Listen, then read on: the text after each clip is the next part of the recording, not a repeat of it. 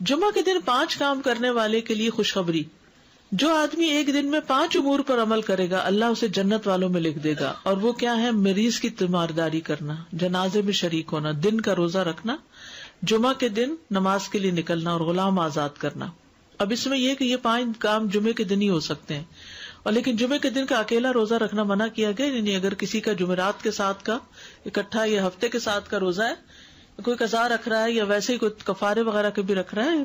اچھا اس دن صدقہ خیرات کرنا بھی عام دنوں کے مقابلے میں زیادہ اجر و ثواب کا باعث ہے۔ تو انسان جمعے کے دن کی نا کچھ اس طرح کی پلاننگ کرے کہ اس دن خاص صدقہ بھی کرے اور نہائے دھوئے بھی اور ساری زیب و زینت اور پھر تیار ہو اور گھر بھی صاف ستھرا کرے۔ یعنی یہ کہ اہتمام نظر آئے کہ آج جمعہ کا دن ہے۔ جی غلام آزاد کرنے میں صدقہ آ جائے گا۔ عورتوں کے مخصوص حالات کی وجہ سے ان پر فرض نہیں کیا۔ لیکن اگر اپنے چوائس سے وہ پڑھے تو اچھی بات ہے۔ عورتوں پر فرض نہیں۔ ابو امر شہبانی سے مربی ہے انہوں نے عبداللہ کو دیکھا کہ وہ جمعہ کے دن عورتوں کو مسجد سے نکال رہے تھے، کہہ رہے تھے کہ اپنے گھروں کی طرف نکلو، وہ تمہارے لیے بہتر ہے۔ یعنی کوئی یہ نہ سمجھے کہ عورت کے لیے جمعہ پڑھنا یا جمعے سے محروم ہونا کوئی بہت بڑی محرومی ہے، وہ گھر میں بھی نماز پڑھیں گی تو ان کو وہ اجر مل جائے گا۔ اصل میں عورتوں کو تیار کرنا ہوتا ہے مردوں کو کہ وہ ٹائم پر جمعے کے لیے نکلے کہ عورتوں کو گھر اس لیے رہنے کی ضرورت ہے کہ وہ مردوں کو تیار کر سکیں کہ وہ جمعے پہ جائیں وقت پر۔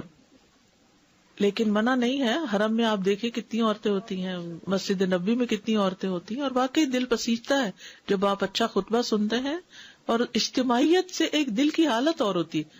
دیکھیے، جو لوگ کامیاب ہوتے ہیں، زندگی میں خوش ہوتے ہیں، ان لوگوں کی سوشل لائف بہت اچھی ہوتی ہے۔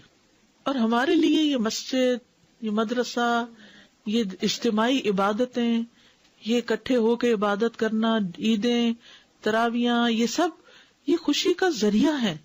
جو شخص صرف اکیلا ہو جاتا ہے نا، وہ کبھی خوش نہیں ہو سکتا۔ کبھی۔ بہت سے لوگ اپنی کوئی چیز کسی کے ساتھ شیئر کرنا ہی نہیں چاہتے۔ نہ اپنی کوئی صلاحیت، نہ اسکل نہ کوئی کھانا پینا، نہ کوئی اور اپنا وقت، نہ قوت، یہ کچھ بھی نہیں۔ وہ خود ہی خود ہر چیز انجوائے کرنا چاہتے ان کی ساری انجوائےمنٹ ختم ہو جاتی۔ ڈپریشن کا شکار ہو جاتے ہیں۔ ڈپریشن کا بہترین علاج ہے۔ کیوں کہ آگے مریض کی عادت کرو؟ کیوں کہ آگے جنازے پہ جاؤ اور بعد میں گھر والوں کا خیال رکھو؟ تاکہ وہ سنبھلے رہے تنہائی کا شکار نہ ہو سبق بھی حاصل کرے تو یہ جو مسلمانوں کی اجتماعیت ہے، یہ دل کو خوشی دیتی، ایک سکون دیتی۔ یعنی اکٹھے ہونا جو ہے، کسی بھی اچھے کام کے لیے وہ بڑے بڑے بوجھ ہلکے کر دیتا ہے۔ وہ کہتے ہیں نا، ہر کامیاب مرد کے پیچھے ایک عورت ہوتی۔ کیا مطلب ہے اس کا؟ اس کا یعنی ضروری نہیں کہ عورت ہی ہو، یہ ایک محاورہ بن گیا ہے، لیکن اس کا مطلب یہ ہے کہ کوئی بھی جو کامیاب انسان ہوتا ہے نا، اس کا کوئی نہ کوئی مددگار ہوتا ہے۔